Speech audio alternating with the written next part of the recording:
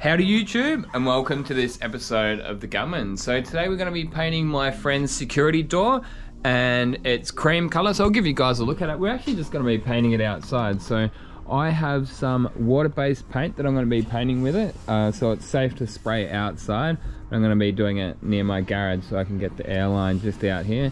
I was actually hoping for a slightly better day than this but fingers crossed that rain holds off when we're spraying because it is water-based but um, yeah, this just didn't suit his house, so he's got like a bit of a color scheme going on. It's like white and black, and this is just going to look better black. So I'll give you guys a look at the paint that I've got. So most of you probably know that I'm an automotive spray painter by trade, so um, we've got lots of paint at work, but um, what I've been doing over the last couple of weeks is just every time I painted a black car, um, any any paint that I had left over, I just put it into a container and kept it. So it's kind of slops because my mate said he didn't really mind exactly what color black it was. If it had a little bit of metallic in there, it does. he said it just has to be black. That's all he really cares about.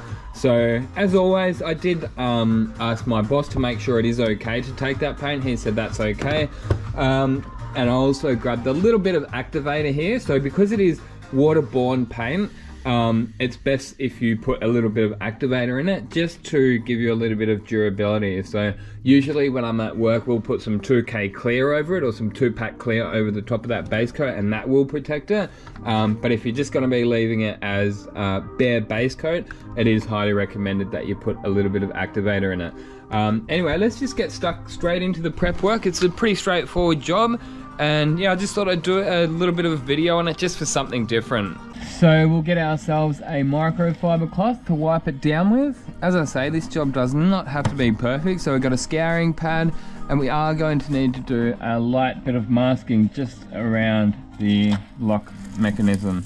So mainly just around this frame part here, we want to get that sort of the gloss off sort of knock that gloss down a bit there. That way it's going to stick to it properly. Around here, it's, it's not going to really matter. It's going to take a lot to sort of pick anything off there. Um, there are some adhesion promoters that you can get, like uh, Axalta have a good one, uh, Cromax. It's called Triple Two S. So that if you can get your hands on some of that, that can be handy sometimes.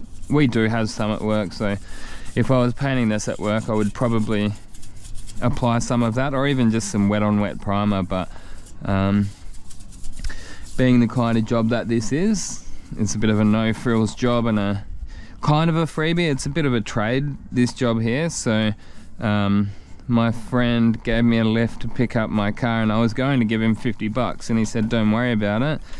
Just paint my door for me. So I thought that was a good little trade I was hoping for a better day to paint this, but I do live in Melbourne, so you can never really count on the weather. Just cleaning a bit of this. There was a sticker under here, so I'm just cleaning that off with a bit of Prep-Sol or wax and grease remover.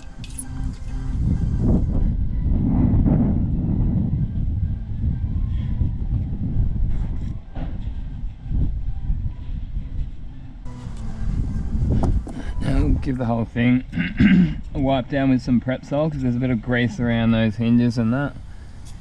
That's going to cause contamination when we do spray it. So give that a good clean down. Might do this other side too.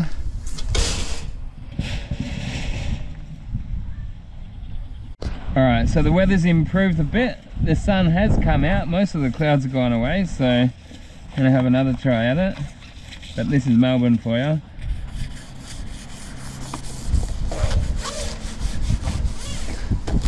That wind's actually going to help the paint dry, so that's a good thing. Yeah, it's given it a good clean down, so I gave it a clean down with the Prep-Sol and the water-based cleaner as well.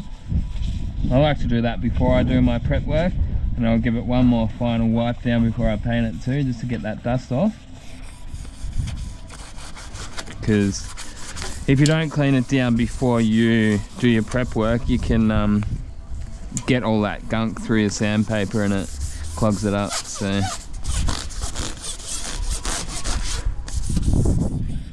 I'm to get rid of most of the shiny spots so the paint's to stick. I'll give this one final wipe down before I start painting. just to get the bulk of the dust off. There's a bit of scotchy there, still a bit shiny.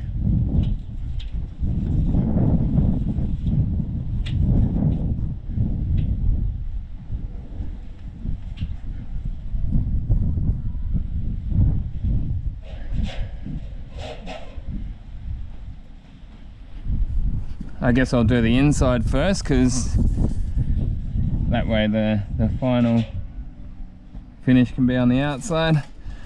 Flip it over, we're about ready to start painting. So just because it's water-based doesn't mean that it's not toxic. So we still do want to wear a respirator. It's not it's nowhere near as bad as your two-pack paints, but still don't want to breathe too much of it in. There we go, full pot there, that's lots. Get a stirring stick there, and we just put this hardener in there.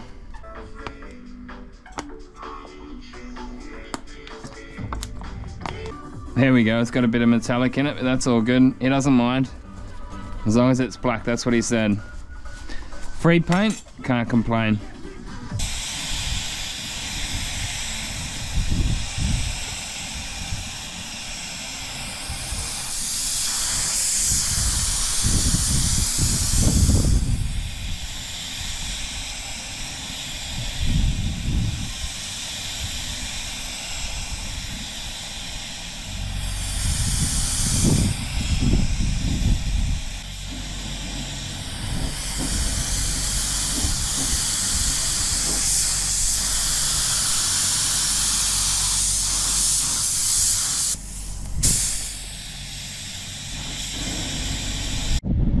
Alright, so this thing is pretty heavy, so I'm gonna have to be careful doing this, but I let that dry down. Luckily it's windy today, that's that's helping that paint dry. But let's get straight onto the outside. Lots of different angles that we've got to try and get, so that's why I use the push method. So you push it like that, so you get those angles on that pass, get these angles on the other pass. So it turns out that my mate actually sprayed some silicone, which is uh, definitely not a good thing to be spraying before you put your paint on. So I noticed it, like I could feel some sort of oily thing on there. And as I said, I did try cleaning as much of it off as I could, but um, that's actually why I'm putting this first coat on sort of medium, like not too heavy. Um, those with a keen eye may have actually noticed that it was sort of fish eyeing up a little bit, but as it turned out, like um, lucky that it is water-based paint because it doesn't seem to react with the silicon anywhere near as much as solvent. Like this is solvent-based paint, would have been somewhat of a nightmare to paint. It would have fish-eyed up on me. So yeah, as I say, lucky that it was water-based. And as you see here, I did actually decide to put some clear coat on. So I used some air dry clear, so it dries really quickly. But I did just ultimately decide to put it on the outside of the door because that's you know the bit that's going to be seeing most of the elements. Um, and yeah air dry clear. It was pretty much dry in like half an hour. It's like a challenger um, fast clear is what it's called but for what it is it's quite good. It's very cheap um, but for this kind of thing absolutely ideal I do like painting household stuff because the level of quality doesn't have to be anywhere near as good as cars. Like as long as it's all one color, like the rest of the little bits of dust and that, you're never really to notice. But I reckon it came up pretty good. And this was for one of my mates, uh, Jeannie. So um, yeah, thanks for giving me a lift to pick up my car. And this is the way of repaying him. It's good to do, you know, a bit of bartering with your time.